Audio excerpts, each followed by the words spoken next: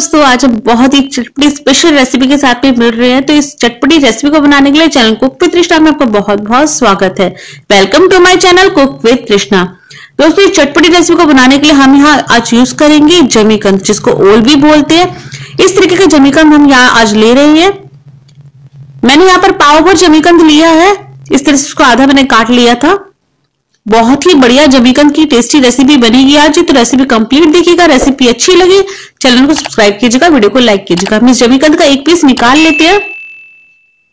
बहुत ही ध्यान से हम जमीकंद का पीस यहाँ निकाल लेंगे। क्योंकि जमीकंद बहुत ही कड़क होता है तो इस साइड से एक पीस निकालना ज़रूरी होता है। एक साथ हम इसका छिलका नहीं उतार पाएँगे। इस तरह से साइड का एक पीस निकालेंगे चक्कू से। बहुत ही ध्यान से निकालेंगे। क्योंकि जमीकंद बहुत ही कड़क होता है। इस तरह से एक पीस मैंने निकाल दिया है, अब इसका छिलका हम उतार लेते हैं।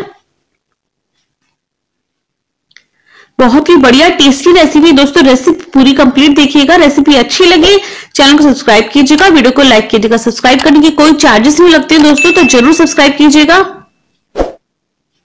बहुत ही टेस्टी रेसिपी है। इस तरह से जमीकंद का सबका छिलका मैंने निकाल लिया है, अब इसके हम पीसेस निकाल लेते हैं।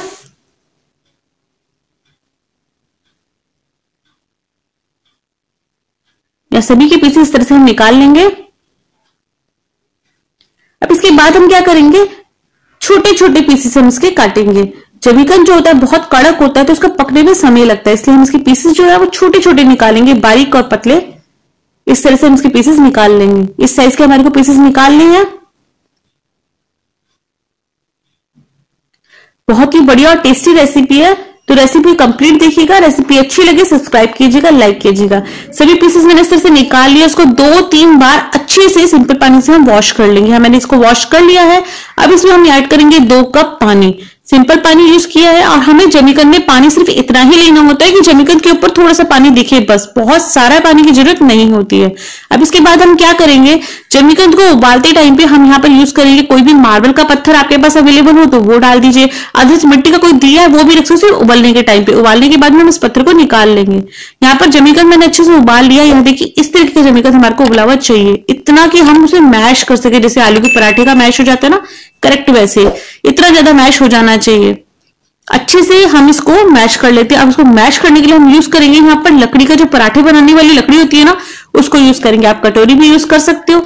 इस तरह से, या फिर हाथ से भी आप इसको मैश कर सकते हो। बहुत ही बढ़िया टेस्टी रेसिपी है। इस तरह से सबको अच्छे से हम मैश कर लेंगे जमीकंद को। कहीं भी कोई पीस दिखना नहीं चाहिए। मैं सारे जमीकंद को अच्छे से मैश कर लेती हूँ। बहुत ही बढ़िया टेस्टी रेसिपी हमारी इस तरह से रेडी हो जाएगी। पूरा जमीकंद अच्छे से मैं मैश कर लूँगी यहाँ पर।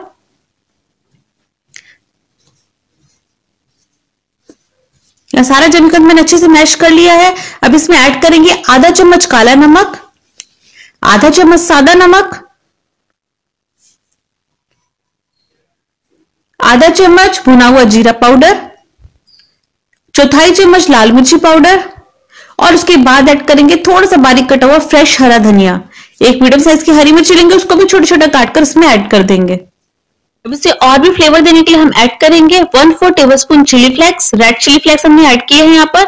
साथ ही यूज़ करेंगे दो मीडियम साइज़ की नींबू, उसका रस हम निकाल लेंगे और उसे इसमें ऐड कर देंगे। नींबू का रस इसमें ज़रूर ऐड कीजिएगा, बहुत ही बढ़िया टेस्ट इसका आता है।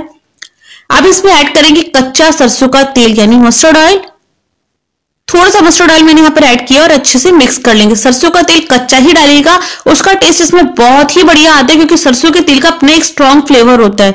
वो इस चटनी में बहुत अच्छा लगता है। तो आप ये मत देखिएगा कि सरसों का तेल कच्चा क्यों डाल रहे हो। अच्छा नहीं लगेगा। सच्ची बता दो दोस्तों, बहुत बहुत बढ़िया लगता है। ज़रूर ट्राई कीजिएगा।